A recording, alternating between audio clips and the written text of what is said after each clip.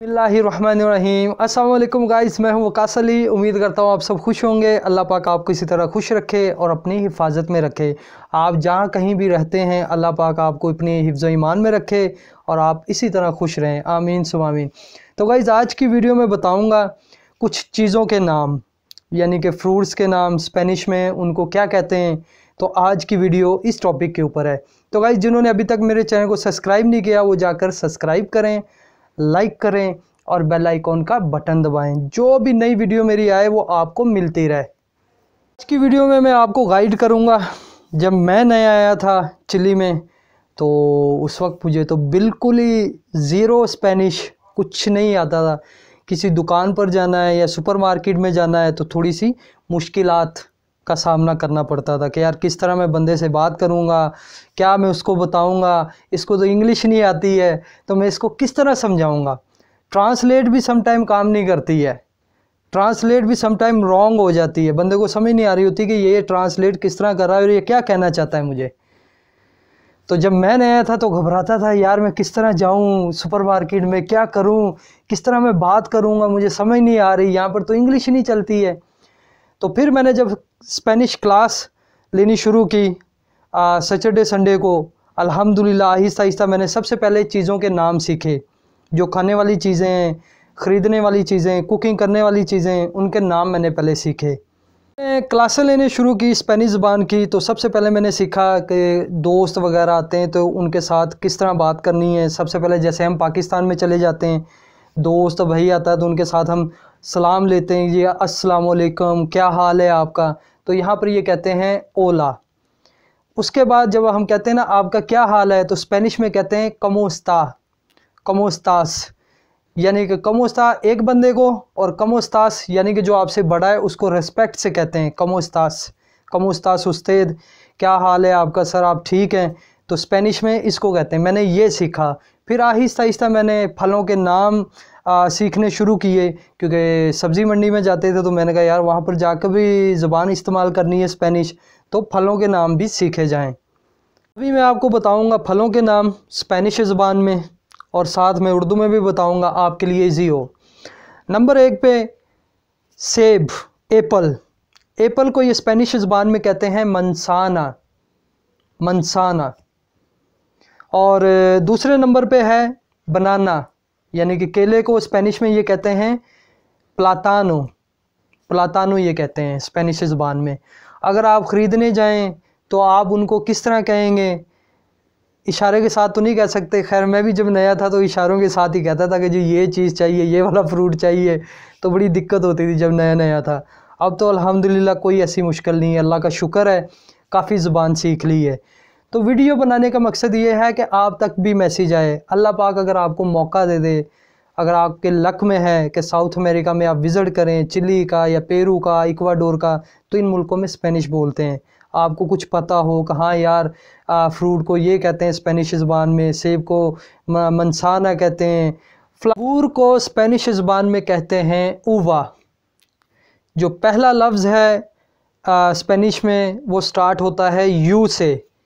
तो जब आप अंगूर का नाम लेंगे तो स्पेनिश में कहना है ऊवा ऊवा। उसके बाद गाइस वाटर मिलन पंजाबी में कहते हैं ना दुआना, बड़ा दुआना। उसको स्पेनिश में कहते हैं संदिया यहाँ पर कहते हैं संदिया और यहाँ का जो संदिया है, जो वाटर मिलन है, वो बहुत ही स्वीट है और काफ़ी बड़े बड़े हैं, बहुत स्वीट चिली का फ्रूट बहुत ही मीठा है, माशाल्लाह, बहुत मीठा और इतना स्वीट है, ज़बरदस्त। मैं आपको एक चीज़ दिखाऊँगा चिली में बहुत ज़्यादा खाई जाती है चिली के लोग बहुत ज़्यादा पसंद करते हैं। ये वाली, इंग्लिश में इसको कहते हैं अवगाडो सैंडविच के साथ खाते हैं और कुछ लोग सैलड में डालकर खाते हैं। स्पेनिश में कहते हैं सैलड को अनसलादा। और स्पेनिश ज़बान में इसका नाम है पालता।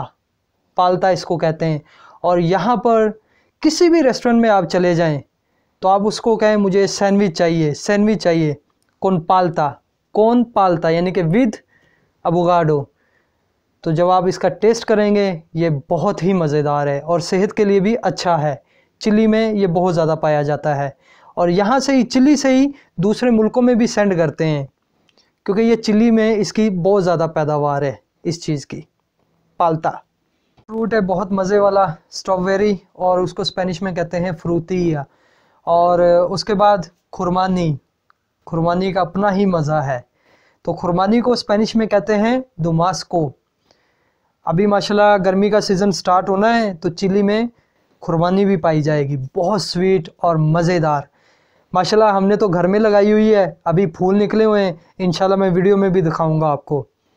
तो गाइज़ अभी मैं आपको दिखा रहा हूँ, ये देखें। माशाल्लाह, हमारे घर में खुरमानी का दरख्त। ये देखें, ये फूल निकले हुए हैं। और इन इस मरतबा गर्मियों के सीज़न में बहुत ज़्यादा खुरमानी होगी। मटर का पुलाव, वो भी पाकिस्तानी स्टाइल में कुकिंग की हो, मटर का पुलाव बनाया हो वाह जी वाह अल्लाह क्या ही टेस्ट है। मटर को स्पेनिश में कहते हैं अरवे खास अरवे खास स्पेनिश ज़बान में। उसके बाद गाजर, कैरट, गाजर का हलवा, गजरेला वाह जी वाह क्या बात क्या टेस्टी है, माशाल्लाह। और उसमें खोया डाला हो, ज़बरदस्त माहौल बन जाएगा। गाजर को ये कहते हैं सनाउरिया। सनाउरिया सनाउरिया।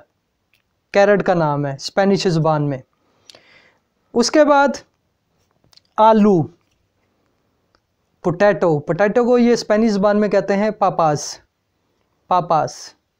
टमाटर को स्पेनिश ज़बान में कहते हैं टमाटे इंग्लिश में टोमेटो, उर्दू ज़बान में टमाटर और स्पेनिश ज़बान में तो माते अदरक, यानी कि इंग्लिश में कहते हैं जिंजर उर्दू ज़बान में हम कहते हैं अदरक और स्पेनिश ज़बान में कहते हैं खनखीवरे खनखीवरे स्पेनिश ज़बान में। अभी मैं आपको बताऊँगा दिनों के नाम स्पेनिश ज़बान में, जिस तरह हम कहते हैं पीर, मंगल, बुध जुमेरात जुमा हफ़्ता, एतवार।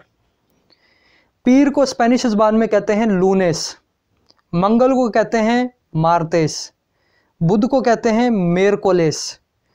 जुमेरात को कहते हैं खुएवेस, जुमे को कहते हैं बियरनेस, हफ़्ते को ये कहते हैं स्पेनिश ज़बान में सवादो, अतवार को स्पेनिश ज़बान में कहते हैं डोमिंगो। ये जी दिनों के नाम, एक हफ़्ते को ये कहते हैं उनो सिमाना एक महीने को ये कहते हैं उन मेसिस एक साल को ये कहते हैं स्पेनिश ज़ुबान में उनाइयों, यानी कि एक साल। तो ये स्पेनिश में दिनों के नाम, हफ्तों के नाम, महीनों के नाम और एक साल उनाइयों। लोग घरों में पौधे लगाना, दरख्त लगाना बहुत ज़्यादा पसंद करते हैं। बेतनहा, चिली के टाउन एरिया में चल जाएँ आप या देहात एरिया में चल जाएँ। आपको हर घर में एक दरख्त या दो दरख्त, तीन दरख्त समटाइम कुछ घरों में आपको छः छः दरख्त नज़र आएँगे लगे हुए। जिस टाउन में मैं रहायश गाँव मैंने काफ़ी विज़िट किया है अपने एरिया का, माशाल्लाह। हर घर में मैंने दरख्त देखा है। किसी ने खुरमानी का दरख्त लगाया हुआ है, किसी ने सेब का दरख्त लगाया हुआ है, किसी ने पीछे से यानी कि आड़ू का दरख्त लगाया हुआ है। लुगाट लुगाट एक फ्रूट है, बड़ा ज़बरदस्त। किसी ने उनका दरख्त लगाया हुआ है। यानी कि ये लोग बहुत ज़्यादा पसंद करते हैं ग्रीनियत और ये अच्छी होती है सेहत के लिए, ऑक्सीजन के लिए भी बहुत ज़बरदस्त है। आप जब चिल्ली आएँगे, आपको बहुत ज़्यादा ग्रीनियत नज़र आएगी। हर घर में दरख्त नज़र आएँगे, फलों के। लीमू का दरख्त आपको हर घर में मिलेगा। लीमू का दरख्त और माल्टे का दरख्त। हर घर में मिलेगा आपको यहाँ पर। इस वीडियो के नीचे अपने कमेंट्स कीजिएगा और अपनी राय दीजिएगा, क्या मज़ीद, क्या जानना चाहते हैं चिली के बारे में। इन मैं कोशिश करूँगा उसी टॉपिक पर वीडियो बनाकर आपके साथ शेयर करूँ। दूसरा गाइज़ मेरे चैनल को सब्सक्राइब करना मत भूलिएगा। अभी जाएँ सब्सक्राइब करें लाइक करें और बेल आइकॉन का बटन दबाएँ। मेरे चैनल की जो लिंक है वो अपने दोस्तों के साथ शेयर किया करें। इन मैं मज़ीद कोशिश करूँगा अच्छी से अच्छी वीडियो बनाऊँ और आपके साथ शेयर करूँ, आपको गाइड करूँ, चिल्ली से। अभी तो फ़िलहाल कोरोना की वजह से लॉकडाउन है। जिस तरह ही चिल्ली में लॉकडाउन ये खुलेगा नॉर्मल होगा सिस्टम तो मैं इंशाल्लाह चिल्ली में अच्छी जगहों पर विज़िट करूँगा और वीडियोस बनाऊँगा और आपके साथ शेयर करूँगा। गाइस मेरे चैनल को सपोर्ट करें। मेरे चैनल का नाम है ट्रैवल गाइड आपकी मुझे सपोर्ट चाहिए और इन मुझे उम्मीद है कि आप मुझे ज़रूर सपोर्ट करेंगे। इसी के साथ मुझे दें इजाज़त। मुलाकात होगी नेक्स्ट वीडियो में। इन अल्लाह हाफिज़। असलकम thanks for watching my video and supporting me